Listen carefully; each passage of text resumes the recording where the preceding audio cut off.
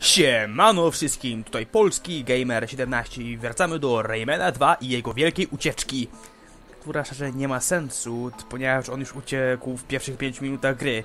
Ale cóż, y, tutaj robię intro, ale jak wejdę do tego portalu, to ja wertuję do momentu, kiedy się spotkamy z Clarkiem, więc tylko takie intro robimy, więc let's go! Kontynuujemy z menhirowymi wzgórzami, górami. Jakkolwiek się ten poziom nazywał po polsku, bo już nie pamiętam. Jesteśmy, gdzie jesteśmy. Clark będzie miał swój eliksir życia albo life potion, jak to się nazywa w tej wersji. I dalej to brzęczenie w mojej prawej słuchawce się nie pozbyło. Dalej brzęczę, ale cóż. To nic się nie dzieje na nagraniu. To nie będzie na nagraniu, tylko to wszystko będzie na tym.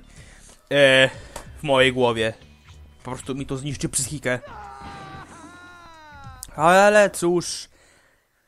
Teraz Clark jest wyzdrowiały i będzie nam niszczył oto ściany tutaj, żebyśmy mogli się przedostać przez resztę tego poziomu. Tutaj był portal, który nas zabrał do tej jaskini złych snów. Technicznie, ponieważ Clark powiedział, że e, portal jest bardzo blisko tego miejsca.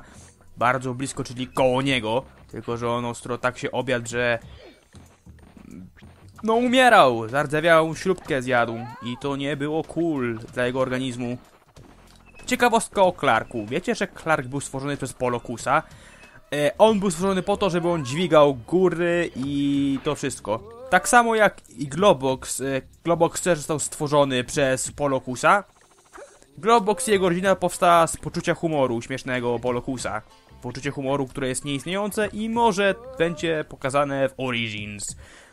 Nie wiem, czemu mówię może, ponieważ grałem w Origins i kurde zmasakrowali trochę Polokusa tam, ponieważ Polokus to kurde totalnie inna postać teraz.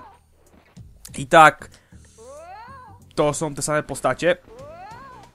I w końcu, kurde, mamy dostęp tutaj. Muszę teraz bardziej uważać na zbieranie lumków, ponieważ jak wczoraj sobie grałem testowo w gierkę, co nie? To, co się wydarzyło, to było to, że nie miałem wystarczającej ilości lumów, żeby otworzyć ostatnią bramę w grze i musiałem backtrackować, musiałem po, poziomy powtarzać i takie tam. Ta pakowcówka jest ekskluzywna y, do wersji PlayStation 1. Tutaj po prostu się żegnamy z Clarkiem, on musi swoje siły zregenerować i się z nim spotkamy później w grze.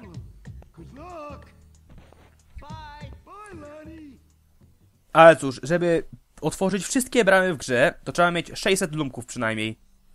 I spoiler, Clark ma coś na plecach. Może to jest plecak, może do szkoły się zbiera jak wszyscy tutaj.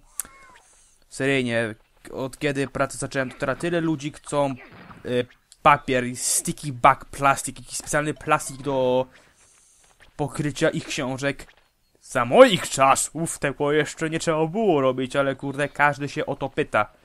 Każdy, każdy. Ja im mówię, get the fuck out, nie wiem gdzie to jest. Tak naprawdę mówię, przykro mi, nie mamy. Ponieważ inaczej byłbym był zwolniony.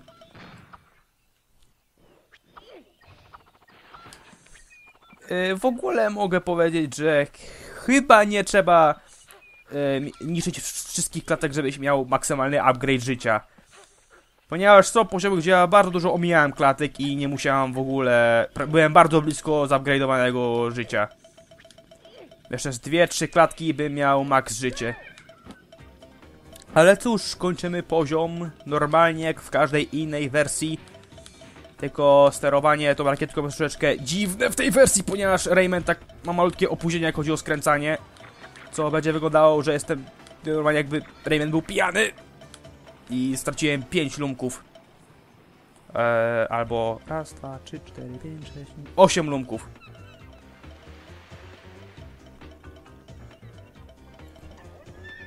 I ja zaraz odkryję, co to brzęczenie... Czy to plastik, czy to słuchawka ciągle? Bo naprawdę, naprawdę nie wiem. I w ogóle raport nagrywarki. Nagrywarka dobrze nagrana na audio. Dobrze się nagrało, nie było żadnych problemów.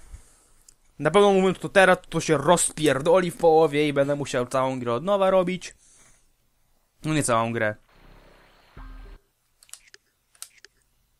Ale cóż. Prison Ship to jest mój save. Jak widzicie, gra nie jest taka długa, tylko 3 godziny mi zajęło. W 3 godziny przeszłem tą gierkę. E, 3 godziny w grze, ale to mi z parę dni zajęło, ponieważ nie grałem tak długo w gierkę. Czas na jeden z moich ulubionych poziomów, ponieważ w tym poziomie jest bardzo majestyczna kreatura, która jest teraz na ekranie. To jest bardzo piękna istota, która jest lekceważona przez dużo ludzi i nawet są fobie, ponieważ są ludzie, którzy się boją tych pięknych stworów. Oto pająk, panie i panowie.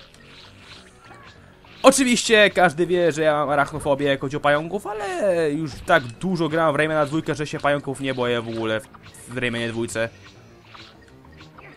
Dobra. Kto pierwszy zginie, on czy ja? E, chyba ja. Tego pająka zabijam, ponieważ chcę lunki pozbierać. What the fuck? Zabij mnie. Nasz pierwszy game over, panie i panowie. Ponieważ muszę się... muszę z tym pająkiem walczyć z pełnym życiem.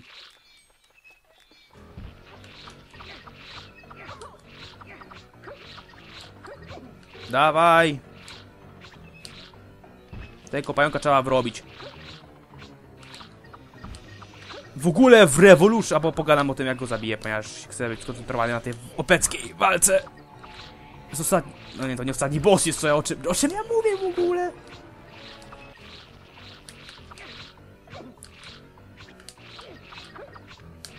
Nie, nie, nie, nie. Jej! Ja wygrałem tą konfrontację. Ale tuż w Revolution te pająki są praktycznie fucking niezniszczalne. Mają tyle życia i ataki Raymana są tak żałosne w tym punkcie grzy, gry, że to się śmieszne robi powoli. I tego pająka zabiłem, ponieważ specjalnie Michael Lancel zrobił tak, że tutaj jest dużo i to bardzo dużo lumów, które ja zawsze olewam. Szczególnie w Revolution. W Revolution to jest pra pra praktycznie wielkie gniazdo lumów.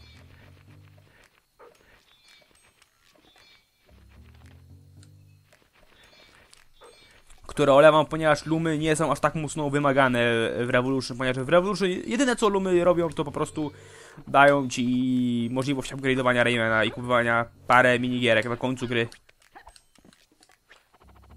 I tutaj pająk by mógł zginąć, ponieważ on by tutaj nie doskoczył i by spadł na jego śmierć.